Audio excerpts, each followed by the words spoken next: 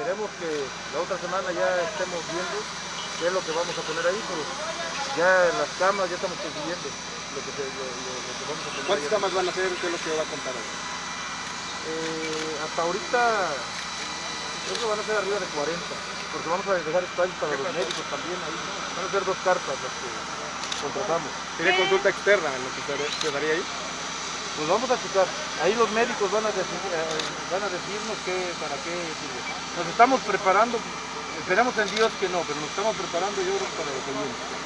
Si la gente no entiende, de verdad créanlo, si la gente no entiende, va a ser muy difícil que no pase de ahí. Va a ser muy difícil. ¿sí? Ustedes saben que esto, esta situación está saliendo de, la- de las manos, no nada más en Cuautla, en todos, en todos lados. ¿qué legisladores han apoyado al municipio de Cuautla con la materia del COVID-19? ¿Con qué servidores públicos? Eh, pues hay varios, yo creo que ustedes ya me vieron, que están haciendo su trabajo, que no puedo hablar de decir cuántos, ¿no? Digo, yo he visto ahí, al único que he visto ahorita entregando, apoyando al pueblo, pues son pocos, son pocos los que han entrado. Alcalde, ¿ya tiene respuesta del adelanto de participaciones que solicitó? Es lo que estamos checando con el de Torero.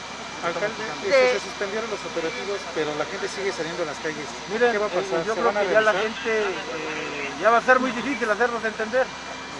Cada quien, esperemos no se arrepientan después, yo de verdad crean lo que he hecho todo lo que está a mi alcance.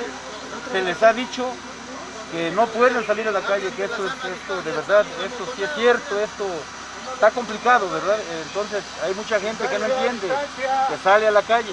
Incluso si yo pudiera les ayudara, pero ustedes saben que Cuautla está muy endeudado. Es más, imagínense, estoy viendo la manera de cómo irles pagando a mis trabajadores y la verdad este, pues solicito a- al gobierno federal y al gobierno del estado que, me- que nos ayuden como municipio. Yo creo que no es el único municipio que estamos en la misma situación, pero estamos haciendo todo lo que está en, en nuestras manos para poderle darle solución a, la- a los ciudadanos. Y hay muchos, hay muchos cuautlenses que ya entendieron, ya, ya están de acuerdo que esto es cierto y que, y que deben de, de cuidarse. ¿Se han suspendido la obras, cuestión alcalde? de que la gente se, se retiró a sus casas fue cerca del 70%.